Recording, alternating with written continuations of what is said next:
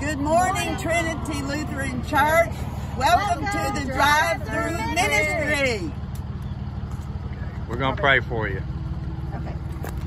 Um, Lord, we come to you this morning, and first we thank you for sending your son Jesus to die yes. for us on the cross, God. And we just pray for this church to start a new drive through ministry, God. Yes. We know that this will honor and glorify you, and we just encourage them, Lord, if they get one people or two people or no people. Lord, I just pray that they would be consistent in what they do and that they would know that what they're doing is for the glory of you and for the to further the kingdom. So I encourage them, and Lord, um, we love them, and even though they're not here with us, we know that we're all one body of Christ, and we want to honor that. And uh, Lord, just we wish them well and hope that they do well today and have many people come through.